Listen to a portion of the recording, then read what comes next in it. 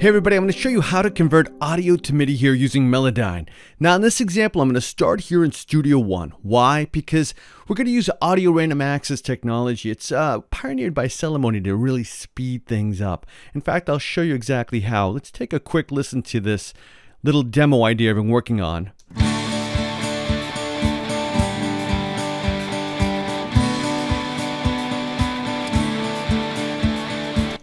I'm going to solo the acoustic guitar here.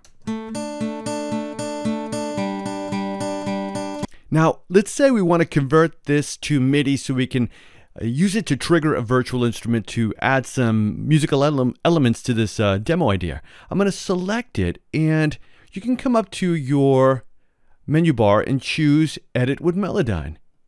Or you could use Command M and it'll convert it as easily and as quickly as that. Now, if you know anything about Melodyne, conventionally you would have to wait for this transfer to happen in real time. But with audio random access technology, it happens that fast. So what we're looking at here is the acoustic guitar. Take a listen.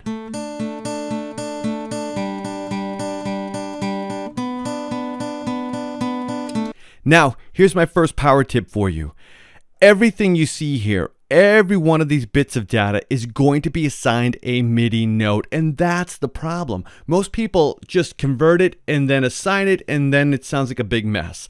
We just want to assign MIDI notes to the musical data. So down here, we have this audio. I'm going to select this. And actually, let's do this. Let's select this range. I'm going to press backspace, delete it. And I just want to hear what is this stuff? Now, if you're listening very closely, and I recommend using headphones, that's the picking sound on the string. It's an element, a, a part of that music, and it's really important.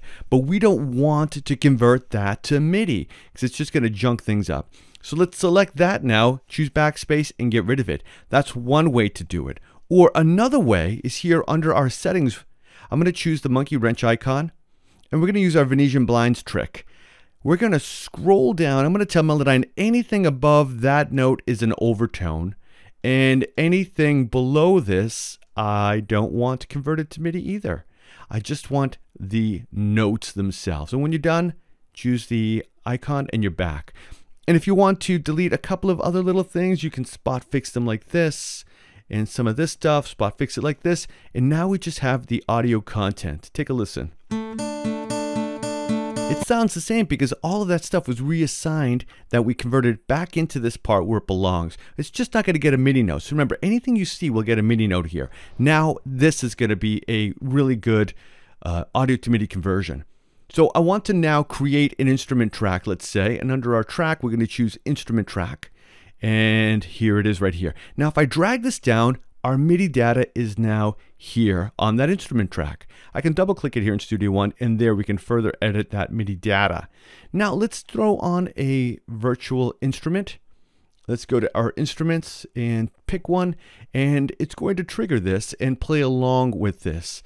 Uh, let's pick up something really fun. All right, let's try this one. Now you're going to hear the acoustic guitar and the MIDI guitar here, the MIDI, I'm sorry, the MIDI audio converted uh, at the same time.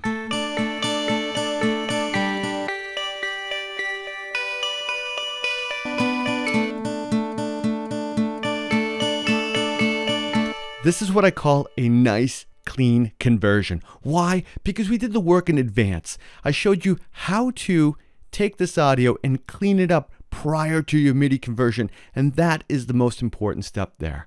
Now you can have a little bit of fun. Let's hear this in the mix.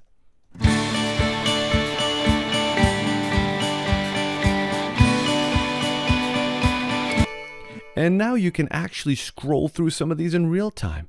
Let's do Music Box, for example. I don't know what this is going to sound like, but let's have some fun.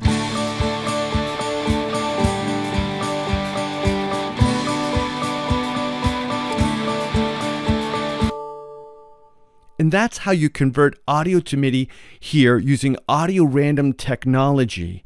You see how quickly we can actually select a track. And I'm going to use a keyboard command here on my Mac, for example. Works great on Windows. Uh, command M.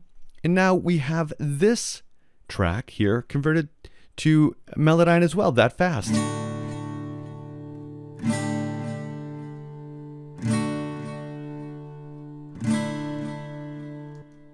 And you can see here in the left-hand column, here's our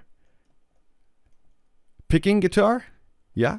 And here's our strumming guitar. And to see them both at the same time, I'm going to hold command and bring them both in. For some group audio editing if that's what you want to do. But if you were to convert all of this to MIDI, it would sum this. So keep that in mind.